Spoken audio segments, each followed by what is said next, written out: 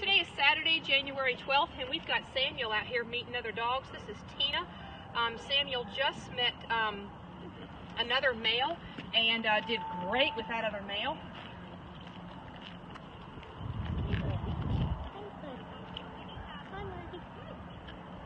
Okay, just a quick sniff is what's polite in the doggy world. You want to let Tina meet you?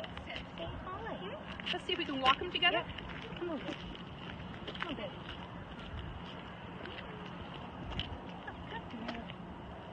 Good girl.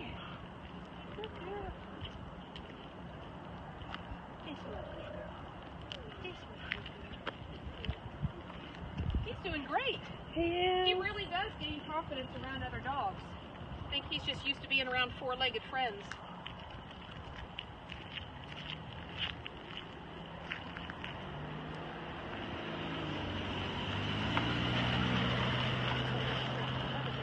Yeah, yeah, exactly.